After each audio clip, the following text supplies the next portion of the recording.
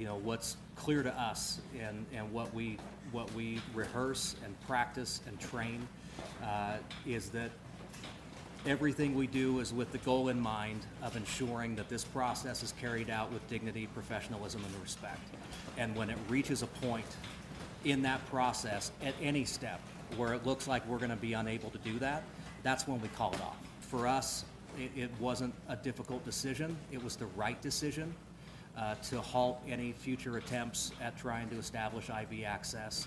Let's call it, and, and we'll discuss next steps after that. So I, I think, you know, what, what is, um, you know, that, that's, again, our goal is to do this in a, in a manner befitting the gravity of such an occasion, uh, such an occasion, and attempting to try to move forward with an execution uh, when you don't have the confidence it can be carried out in that respect. I think that would be the definition of a botched execution.